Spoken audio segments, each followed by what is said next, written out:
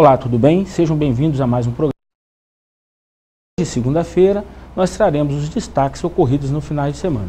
Lamentavelmente, nós tra traremos aqui hoje, como principal destaque, a questão da nutricionista Camila, que, foi que estava desaparecida desde quinta-feira, mas lamentavelmente o seu corpo foi encontrado no sábado, mas a polícia já agiu fortemente, os suspeitos estão presos e maiores informações com o repórter Manuel Neto. O corpo da nutricionista Camila, que era filha única do casal Bartolomeu Lopes Júnior e Maria das Graças Malverde dos Santos, foi encontrado no final da tarde do último sábado, no balneário litorâneo, na zona norte de São Mateus, em uma região de plantação de eucalipto, numa antiga estrada de terra que liga São Mateus à Conceição da Barra. Ela era totalmente caseira, tranquila, discreta, uma menina que de Deus, entendeu? Não tinha maldade nenhuma, nenhuma. Era uma pessoa, é uma pessoa maravilhosa. A moça havia acabado de visitar uma prima no centro da cidade e quando entrou em seu carro, um veículo Onix de cor branca, placas PPB 1633, foi abordada por dois marginais armados. A polícia obteve as imagens do momento do sequestro e outras de vídeo monitoramentos quando os veículos saíam pela BR-101. Para promover o latrocínio, que é roubo seguido de morte, os elementos utilizaram um veículo Ford Focus de cor prata. Os autores do crime foram presos em Teixeira de Freitas na noite de sábado, quando o Ford Fox, parecido com o mostrado na filmagem, foi visto por policiais capixabas trafegando pela Avenida Presidente Getúlio Vargas. Quando abordado, só estava no veículo Rafael Jesus Lima, de 25 anos.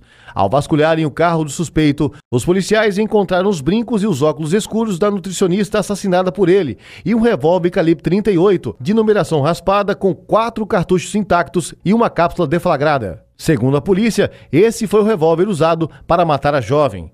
Rafael confessou a autoria do crime, dizendo que fora ele o autor do tiro que ceifou a vida da jovem e dedurou o parceiro. Além de Rafael de Jesus Lima, foi preso o seu comparsa no crime, o mineiro de Nanuque José Júnior Lopes dos Santos, de 24 anos. Na casa dele foi encontrado o anel de ouro da vítima, o qual dedurou o primo e a tia que estavam com o resto dos pertences, inclusive o carro da nutricionista, que já possuía placa falsificada da cidade de Camaçari, na Bahia. Ainda foram presos Maurício de Oliveira Santos, 30 anos, além da prisão do mineiro de Teófilo Otoni, Mauri Ferreira de Carvalho Júnior, de 42 anos. Com a quadrilha, foram apreendidos inúmeros objetos, inclusive uma pistola de brinquedo, 17 carteiras de identidade falsificadas com fotos dos indivíduos que utilizavam nomes diferentes, além de quatro carros roubados. Todos os seis elementos presos em Teixeira de Freitas na noite de sábado foram recambiados para o DPJ de São Mateus. A população do município, revoltada com o caso, tentou invadir a delegacia para linchar os integrantes da quadrilha, mas a Polícia Militar conteve a manifestação e isolou o local. Olha, é lamentável, a população realmente se revoltou e com toda razão. Tá? Com toda razão. Para que tirar a vida dessa jovem que tinha tudo pela frente? Entendeu? Ah, conforto é que esses miliantes serão julgados pelo juiz singular. Isso quer dizer que eles não irão a júri. E o juiz singular, por ser um técnico, geralmente o latrocínio, porque eles mataram para roubar, é o que parece, ele é apenado geralmente com uma pena muito maior do que o próprio homicídio. Geralmente um, um caso desse aí, 23, 24, 25, 26 anos. É um conforto para a sociedade, porque a questão do júri, por se tratar de júris leigos, geralmente a pena é reduzida. Volto a lamentar mais uma vez. Mas agora nós vamos a Rio Badanal, porque uma quadrilha foi, que foi presa, suspeita de planejar um assalto é, em dois armazéns de café. Mas a polícia realmente agiu fortemente e o interessante, os bandidos foram importados do sul do estado. Vamos à matéria? Por pouco, duas empresas do ramo de compra e vendas de café em Rio Bananal não foram assaltadas nesta sexta-feira. Uma quadrilha do sul do estado estava prestes a cometer o crime, que havia sido arquitetado dias antes. Em Rio Bananal, eles estiveram domingo passado lá filmando e fotografando os dois armazéns de café. Quando foi hoje, no horário de 7h40 da manhã, chegou uma das vítimas dos DPMs é, pedindo a gente ajuda nas informações que ele já estava tendo. Através dessas informações, nós saímos é, para o Corgo Caprivara e ao fazer uma abordagem de um veículo, já começamos a desconfiar e prendimos de imediato um principal suspeito que tinha armado todo o esquema para fazer esses assaltos. Segundo a PM, os membros da quadrilha confessaram que iam cometer o assalto. Cláudio Roberto da Silva, responsável por ter arquitetado o crime, é do município de Piúma. E os três comparsas são de Guarapari. Todos já têm passagens pela polícia por tráfico de drogas e assalto à mão armada. Aqui na nossa região, em Rio Banal, sim, é a primeira vez. É a segunda vez que eles estavam lá. A primeira para poder fotografar o local para correr o fato e a segunda vez agora que nós prendimos eles hoje, todos eles. Com o grupo foram encontrados uma arma calibre 38, cinco munições intactas, aparelhos de celular, uma algema, 405 reais em espécie e um cheque no valor de 715 reais, entre outros objetos pessoais. Por hora, a gente tem um porte de arma, que foi localizado um revólver 38 e uma associação criminosa.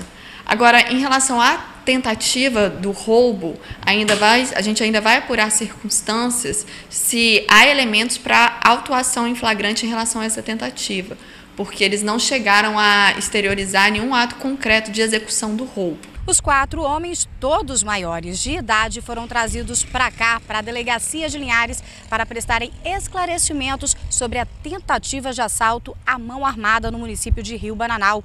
Todos podem ser transferidos ainda hoje para o presídio daqui do município.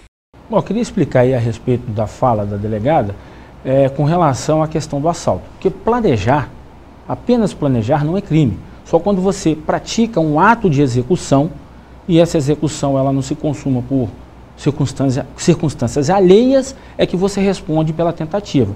Como ela disse, agora eles vão responder por porte de armas, porte de arma e associação, o que fatalmente os colocarão em liberdade porque são crimes afiançáveis, mas o nosso ordenamento jurídico permite, é claro que o juiz também vai analisar a circunstância pessoal de cada um dos envolvidos para saber se eles é, reúnem qualidades para serem colocados em liberdade com ou sem fiança. E no próximo bloco nós traremos mais notícias do norte do estado.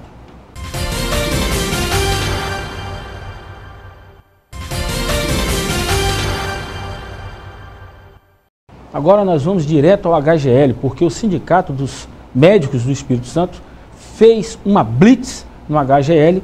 Isso foi motivado por denúncias de falta de cirurgias ortopédicas e de má condições de trabalho. Vamos à matéria?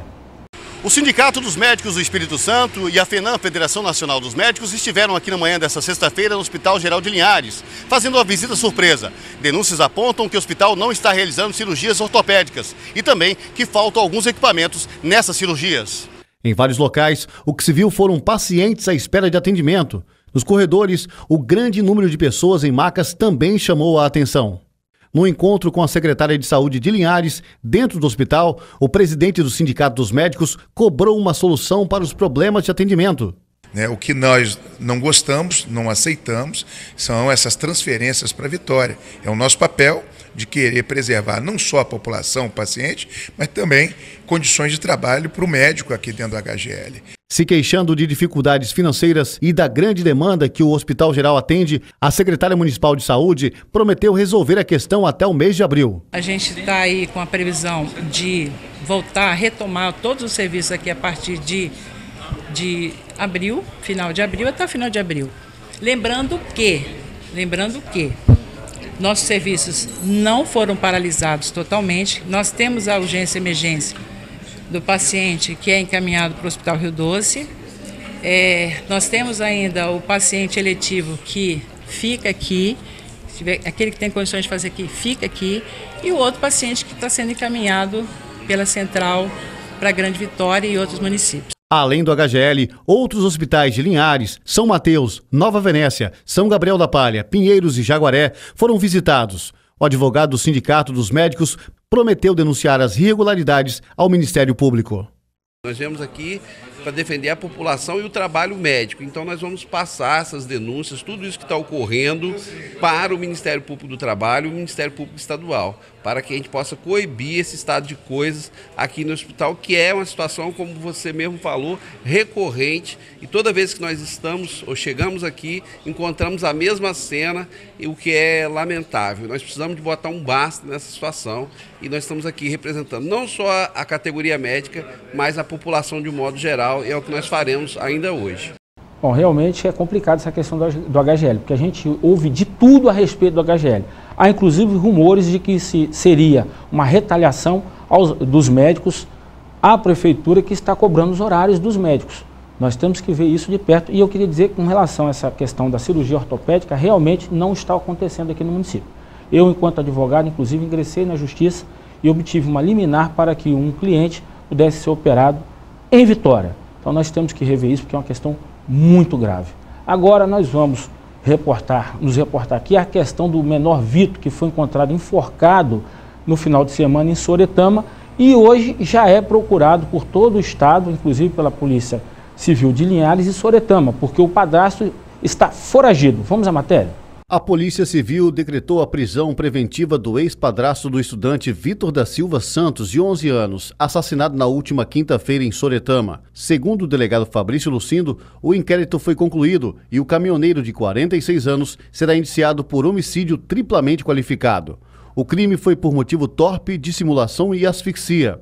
O caminhoneiro teria matado a criança para se vingar da mãe dele, a dona de casa Marilúcia Monteiro da Silva, de 39 anos, que havia se separado dele há cerca de seis meses. Tudo leva a crer que o principal suspeito é o padrasto, por conta das circunstâncias que nós conseguimos é, levantar de ontem para hoje à noite nos trabalhos investigativos. A corda usada para enforcar o menino era de propriedade do suspeito. O nó que ele fez é conhecido como nó paulista. O suspeito também tinha combinado de pagar 15 reais ao garoto para vasculhar o celular da mãe em busca de um possível namorado. Ele tinha um ciúme possessivo da mulher. O homem atraiu a criança para o local onde foi morta, mas, como não tinha conseguido as informações que ele havia pedido, acabou matando a criança. Os parentes reconheceram a corda que foi usada para o enforcamento como se fosse dele, do tal padrasto. A polícia concluiu o caso após trabalho de perícia e com o depoimento de cinco testemunhas durante a sexta-feira. Todos confirmaram o ciúme doentio do caminhoneiro pela mãe da criança. O homem está foragido depois de ser atendido no Hospital Geral de Linhares. No dia da descoberta do corpo da criança, ele foi esfaqueado pelo irmão da vítima, Cassiano Santos, de 20 anos, que identificou a corda utilizada no enforcamento de Vitor como sendo a do ex-padrasto. Cassiano continua detido e deve responder pelo crime de tentativa de homicídio. Absurdo, hein? Um absurdo. Depois diz que existe, fez porque é um amor platônico. Semana passada o Jardel estava até com, nós estávamos conversando aqui nos estúdios e ele disse: "Mas como que a polícia tem certeza de que essa corda é do padrasto?" Agora nós sabemos que o irmão da vítima identificou essa corda como sendo do padrasto. Agora, no próximo bloco, nós temos notícia a respeito da questão da nutricionista, pois o assassino disse ter se arrependido.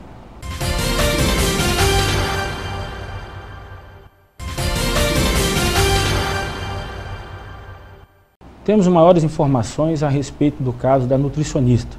Vamos ver agora a transferência dos homicidas e um deles falou com a gente. Vamos conferir? Pedir perdão à família da moça. Foi um momento de loucura, um momento de uso de drogas Estou arrependido. Se um dia puder me perdoar, já pedi perdão a Deus. E se a família puder me perdoar, essa é a minha versão. Diferença dos assassinos da nutricionista de São Mateus. Notem que realmente foi feita uma estratégia, porque senão eles iriam ser linchados, hein? A população se revoltou e realmente eles correm risco de vida, aliás, risco de morte, né? Porque realmente o que eles praticaram é uma, um absurdo, é horrendo. Isso trouxe realmente revolta a toda a população. Isso é em São Mateus. Ah, eles estão indo para o presídio. Então vamos agora à questão do, da moto, do mototaxista. Em Linhares, a questão já da, da, dos taxistas foram regula, regulamentados. Só faltava a questão do mototaxista, como agora está previsto na questão da mobilidade urbana, da mobilização urbana, e nós temos a matéria que diz respeito a isso. Por ser barato e rápido, o mototáxi acaba sendo a melhor opção de transporte para muita gente. Hoje, em Linhares, existem 15 pontos de mototáxi e 140 profissionais trabalhando na área. Esses dados foram obtidos através do levantamento feito pelo setor de transportes públicos daqui do município, sendo que esse é o primeiro passo para a legalização do serviço, uma reivindicação antiga da categoria. Fiquei muito feliz porque essa notícia veio, a gente vem lutando há muito tempo para chegar a essa regulamentação. Então recebeu muito bem a notícia para poder a gente se adequar às leis de trânsito, né? por ter sido até então uma profissão é, é, clandestina, vamos falar assim, agora sendo regulamentada e reconhecida, é, nós começamos o levantamento em todo o município. Né? A partir terça-feira que vem temos uma reunião com as lideranças de cada mototáxi, tá? É, onde será apresentado toda a legislação, os seus direitos, os deveres, vão tirar as dúvidas também, tá certo?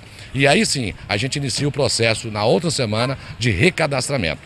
Dos 78 municípios do Espírito Santo, Linhares está entre as seis cidades que apresentaram o plano de mobilidade urbana para o Ministério das Cidades. No entanto, a regulamentação dos mototaxistas daqui do município tem o objetivo de atender a esse plano de mobilidade urbana nacional.